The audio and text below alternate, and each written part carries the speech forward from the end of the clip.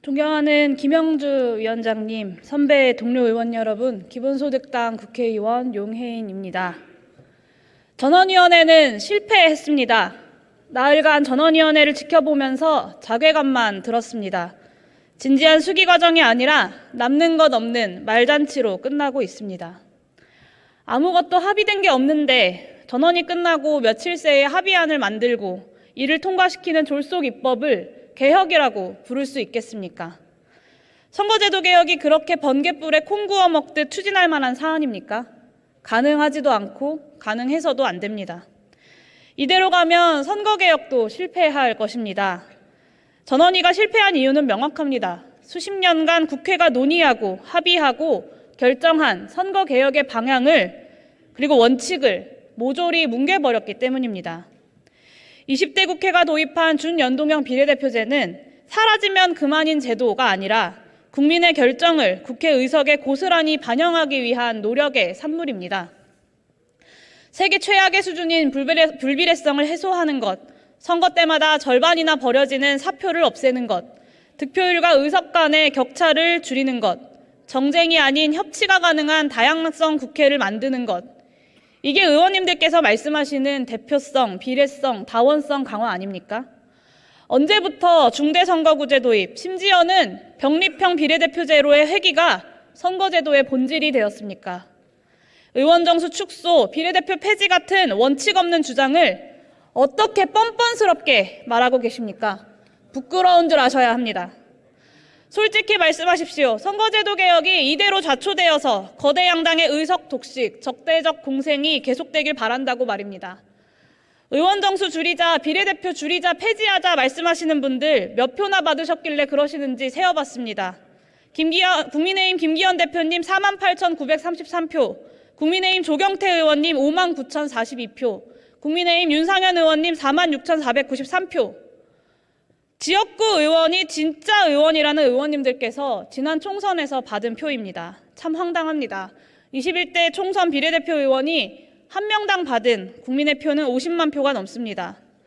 5만 표 남짓 받아서 당선한 지역구 의원님들께서 도대체 무슨 근거로 50만 명의 선택으로 당선된 비례대표 의원보다 진짜 의원이라고 비례대표 의원은 줄이거나 폐지해야 한다고 자신 있게 말씀하십니까? 지역구 의원님들은 자신의 이름을 걸고 당선되었고 비례대표 의원들은 정당의 이름을 걸고 당선되었다는 말도 사실이 아닙니다. 그럼 지역구 의원님들은 정당 없이 당선되신 것입니까? 다들 현재의 양당 체제에 기반해서 지역구에서도 정당의 국회의원으로 당선되신 분들이 여기 모여 계신 것 아닙니까? 의원님들께서 진정으로 두려워하시는 건 승자 독식의 지역구 중심 선거제도로 공고하게 유지되어 온 거대 양당의 기득권이 무너져 내리는 것 아닙니까?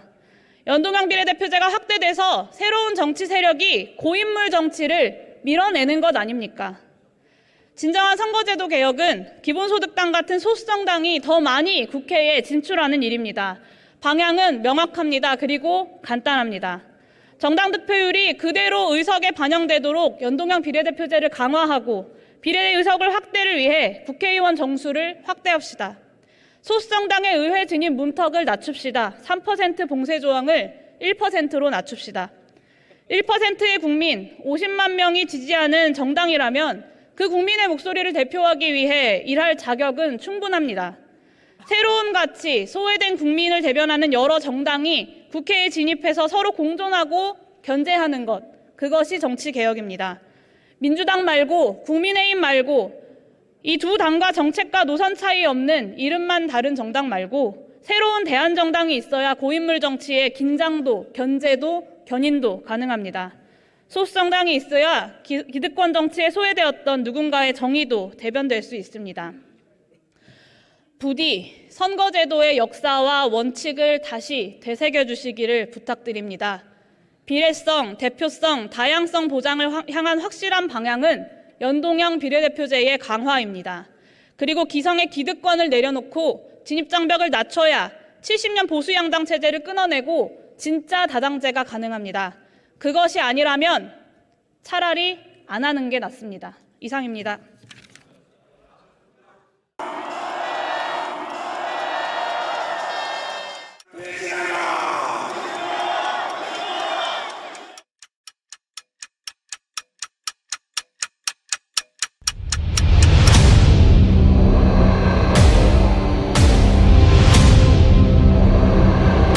여기서 할 거는 마약 쏙보다 두들이 잡아야 돼. 일본한테 유린 당한 적도 우리가 힘이 없을 때 일본이 힘이 돼주고 도움을 받은 적이 있어. 근데 우리가 일본을 훌륭해야 된다.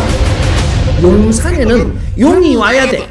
열줄을 들고 와야 돼. 명백한 국정농단이죠. 천공이 답변해야 될 문제입니다. 상당히 이제 충격적이었죠. 그게 어떻게 가능하겠냐 이렇게 반문을 했거든요.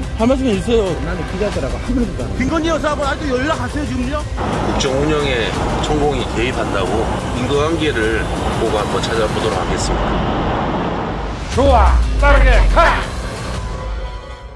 본 다큐 영화는 reward funding으로 제작됩니다. 3만원 후원 회원은 시사회 티켓 2장, 5만원 후원 회원은 시사회 티켓 2장과 영화 제작 포토 에세이집을 추가로 드립니다. 서울의 소리 유튜브 구독 회원에 한해 서울의 소리 유튜브와 서울의 소리 공식 홈페이지에서 다큐 제작 후원에 참여하실 수 있습니다. 서울의 소리 구독 회원 여러분이 대한민국 민주주의와 한반도 평화를 사수할 역사적 다큐멘터리의 주인공이 되어 주십시오.